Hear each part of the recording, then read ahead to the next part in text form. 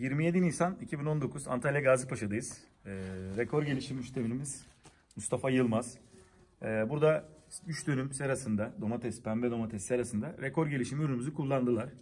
Mustafa Bey neler oldu burada? Çok kısa bir özetlerseniz. Ee, Şimdi öncelikle e, şunu söyleyeyim. Ee, Oğuzhan Bey rekor gelişim müşterimiz dedi. Tabii ki rekor gelişim müşterisiydim önce. Şimdi bahis oldum. Şu an müşteri olarak konuşuyor. Satıcı Evet. olarak değil o anlamda. Şu anda müşteri olarak e, konuşuyorum. E, Oğuzhan Bey'e ben bunu denemesini istedim. Denemesi yok dedi. Ben de o zaman alır kullanırım sonra parasını sonra öderim dedim. Şimdi o konuda şöyle söyleyeyim. 11 yıldır üzerinde çalışılan, 11 yıldır satılan bir üründür.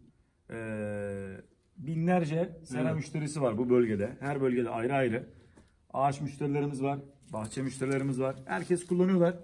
Ee, bu bir yerde onlara artık saygısızlık olur. Çünkü Evet. insanlar tüm bahçelerini alıp kullanıyorlar. O anlamda deneme vermiyoruz. Ürünümüze de güvendiğimiz için. Aynen.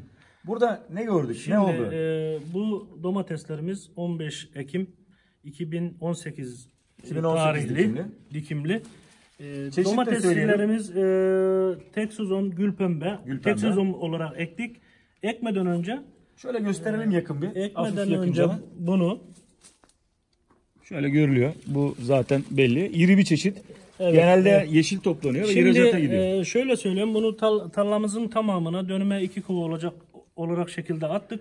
Sezon başında uyguluyor. Sezon başında. Artı olarak ben setlere de uyguladım. Bu bir sezon bu domatesi götürecek şekildeki yeterli bir e, miktar.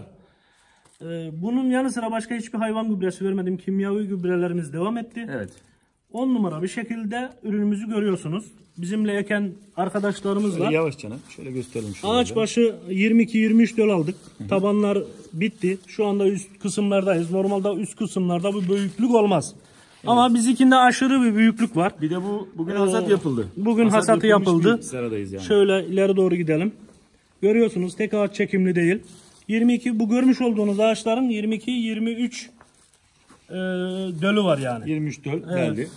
Ee, şöyle yapalım. İleri Şu doğru. yukarıyı ileri da göster.